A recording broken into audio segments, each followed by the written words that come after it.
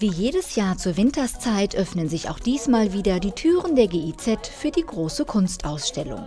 Und wie jedes Jahr strömt das interessierte Publikum nach Eschborn, um die Kunst und die internationalen Künstler zu sehen.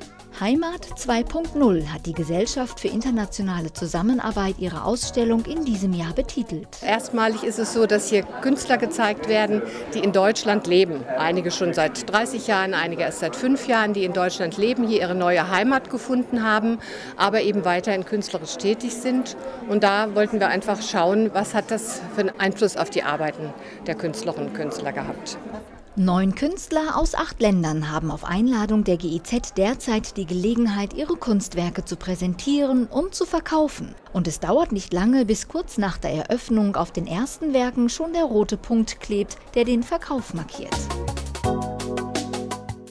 Zu den begehrten Werken gehören auch die von Nijat Hushur. Der Künstler hält gerne seine uigurische Heimat im äußeren Westen Chinas auf seinen Bildern fest. Meine Heimat äh, ist an der Rand von Taklamakan-Wüste, die zweite größte Wüste der Welt.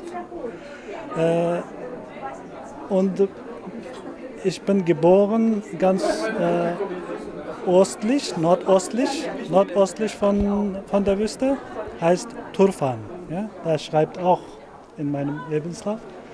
Und das ist tiefstes Land eigentlich, 155 Meter unter dem Meerspiegel.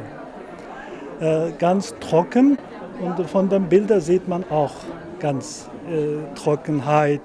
Seit 1996 bietet die GIZ Künstlern aus aller Welt die Möglichkeit, ihre Kunst zu präsentieren. Die jährliche Ausstellung hat sich in der Kunstszene herumgesprochen.